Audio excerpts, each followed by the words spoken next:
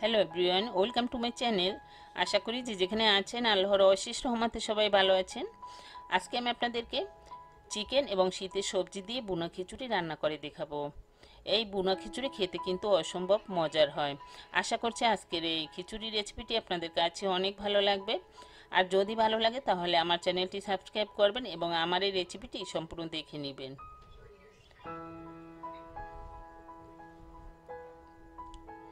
খিচুড়ি রান্না করার জন্য আমার যা যা উপকরণ লাগবে।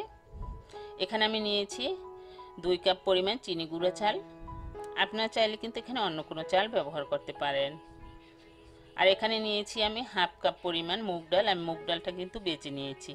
আর এখানে নিয়েছি হাফ কাপ পরিমাণ আমি মসুর ডাল। এখানে আমি হাফ কাপের একটু বেশি মসুর ডাল নিয়েছি। মোট তিন কাপ পরিমাণ আমি এখানে নিয়েছি। এখন আমি এই চাল এবং ডাল ভালো করে ধুয়ে নিব। আর যা যা সবজি নিয়েছি, এখানে আমি আলু কিউব করে কেটে নিয়েছি। নিয়েছি গাজর, নিয়েছি বরবটি এবং নিয়েছি ফুলকপি। আমি আমার পছন্দ মতো সবজি এখানে নিয়েছি। আপনারা আপনাদের পছন্দ মতো সবজি কিন্তু ব্যবহার করতে পারেন। আর এখানে নিয়েছি মটরশুঁটি। আর এখানে নিয়েছি এক কাপেরও একটু বেশি চিকেন, আমি ছোট ছোট টুকরো করে কেটে নিয়েছি।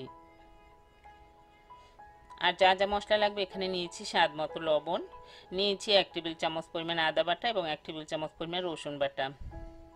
এখানে নিয়েছি এক চামচ পরিমাণ ধনিয়ার গুঁড়ো এবং এক চামচ পরিমাণ জিরের গুঁড়ো। এখানে নিয়েছি এক টেবিল চামচ পরিমাণ লাল মরিচের গুঁড়ো, নিয়েছি এক চামচ পরিমাণ হলুদের গুঁড়ো। নিয়েছি তেজপাতা, দারচিনি এবং এলাচ ভালো করে ধুয়ে নিয়েছি। এখানে নিয়েছি পেঁয়াজ কুচি, নিয়েছি কাঁচামরিচ। আর এখানে নিয়েছি রান্নার তেল। আপনার চাইলে কিন্তু রান্নাটা ঘি দিয়েও করে নিতে পারেন। এখন রান্নার জন্য চুলায় একটি হাঁড়ি বসিয়ে দিয়েছি। এখন আমি এর ভিতর দিয়ে দিচ্ছি এক কাপ পরিমাণ রান্নার তেল। তেল গরম হয়ে গিয়েছে। এখন এই পর্যায়ে আমি এর ভিতর দিয়ে দেবো তেজপাতা, দারচিনি এবং এলাচ। সুন্দর এরমা বের না হওয়া পর্যন্ত কিছুক্ষণ ভেজে নিব। এখন আমি এর ভিতর দিয়ে দিব। পেঁয়াজ কুচি।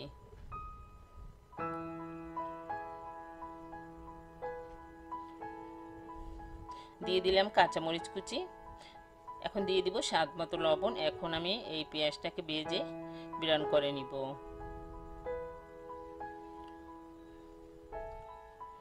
দেখতেই পাচ্ছেন পেঁয়াজ কিন্তু ব্রাউন কালার চলে এসেছে। এখন আমি এর ভিতর দিয়ে দিচ্ছি আদা বাটা এবং রসুন বাটা।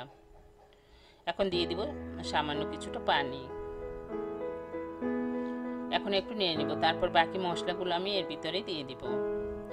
দিয়ে দিলাম হলুদের গুঁড়ো এবং মরিচের গুঁড়া। চাল যদি আপনারা একটু বেশি খেতে চান, তাহলে চালের পরিমাণটা বাড়িয়ে দিতে পারেন।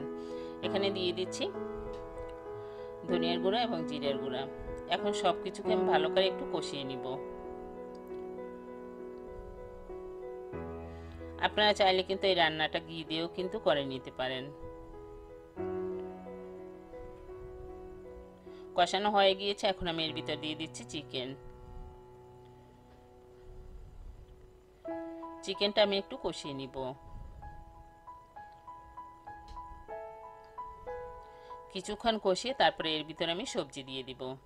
দেখতেই পাচ্ছেন কষানো কিন্তু আমার হয়ে গিয়েছে, তেল কিন্তু ছেড়ে দিয়েছে। এই পর্যায়ে আমি বাকি সবজিগুলো দিয়ে দিব। মটরশুঁটি আমি একটু পরে দিব। এখন এই সব কিছুকে আবারও ভালো করে একটু মিশিয়ে নিব।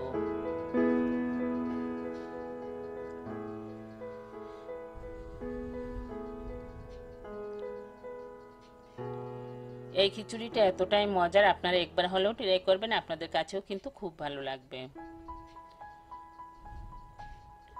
কষানো হয়ে গেলে এর ভিতরে আমি দিয়ে দিচ্ছি সেই দুই রাখা চাল এবং ডাল। এখন আমরা যেভাবে পোলাও রান্না করি, ওইভাবে কিন্তু এখন ভালো করে ভেজে নিতে হবে এই চাল এবং ডাল সবজির সাথে। যত সুন্দর করে কষিয়ে নেবে, ততই কিন্তু খিচুড়িটা জর্জরে হবে। আর এই পর্যায়ে কিন্তু চুলার আঁচ একটু কমিয়ে দিতে হবে, তা না হলে কিন্তু চাল পুড়ে যাবে।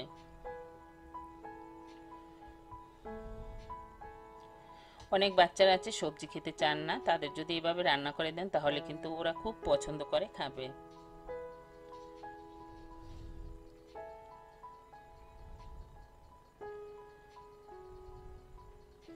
আর এভাবে খিচুড়ি রান্না করলে কিন্তু ইলিশ মাছ বাজার সাথে কিন্তু বেশ জমে যায়।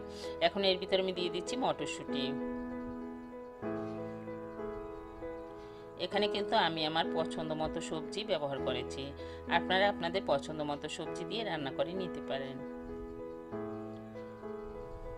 কষানো হয়ে গিয়েছে, এই পর্যায়ে আমি এর ভিতর দিয়ে দেবো ফুটন্ত গরম পানি।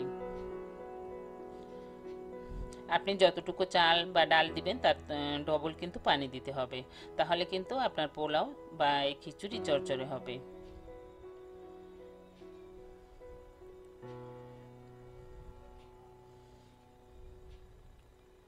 আমি তিন কাপ পরিমাণ চাল এবং ডাল দিয়েছি, তাই আমি সাড়ে পাঁচ কাপ পরিমাণ বা, পরিমাণ আমি পানি দিয়েছি।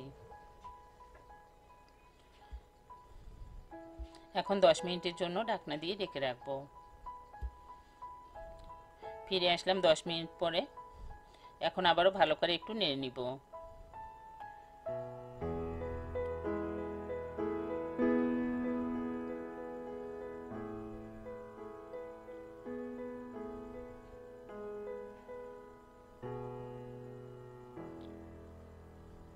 ভালো করে নেড়ে আবারও আমি চুলার আঁচ কমিয়ে দিব এবং ডাকনা দিয়ে ডেকে রাখব।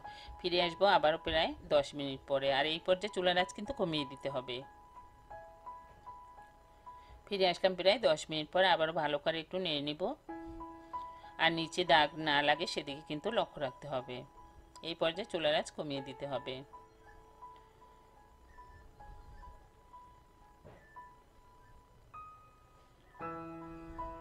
ভালো করে নেড়ে দেওয়া হয়ে গিয়েছে। এখন আমি এর ভিতর দিয়ে দেবো এক টেবিল চামচ পরিমাণ ঘি। দিয়ে দেবো কয়েকটি কাঁচামরিচ।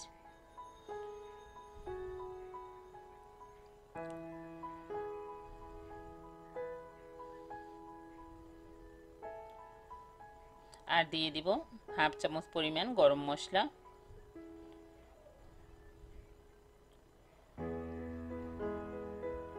এখন ভালো করে নেড়ে তারপর আমি কিছুক্ষণ দমে রেখে দিব।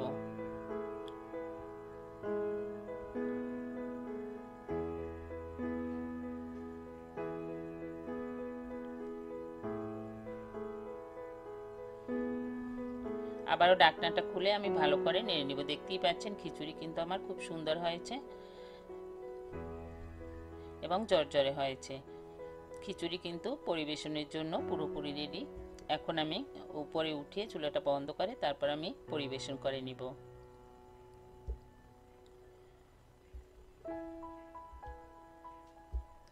দেখতেই পাচ্ছেন, আমি কিন্তু পরিবেশন করে নিয়েছি। আশা করছি আজকের এই চিকেন ও শীতের সবজি দিয়ে বুনা খিচুড়ি রেসিপিটি আপনাদের কাছেও অনেক ভালো লেগেছে। আর রেসিপিটি প্রথম থেকে শেষ পর্যন্ত দেখার জন্য সবাইকে অসংখ্য ধন্যবাদ। সবাই ভালো থাকবেন, নিরাপদে থাকবেন। আমাদের জন্য দোয়া করবেন। আজ আর নয়, আবার আসব নতুন কোনো রেসিপি নিয়ে। আল্লাহ হাফেজ!